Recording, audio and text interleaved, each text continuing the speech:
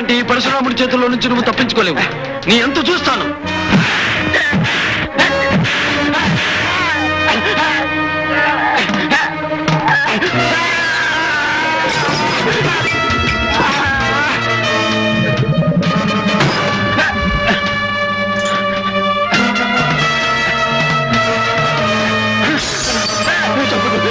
Ha ha ha!